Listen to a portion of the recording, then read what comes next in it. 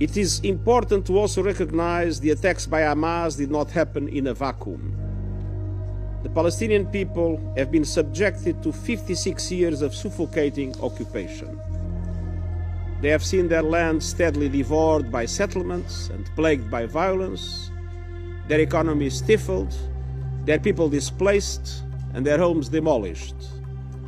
Their hopes for a political solution to their plight have been vanishing. And those appalling attacks cannot justify the collective punishment of the Palestinian people. I mourn and honor dozens of UN colleagues working for UNRWA. Sadly, at least 35 and counting, killed in the bombardment of Gaza over the last two weeks. I owe to their families my condemnation of these and many other similar killings.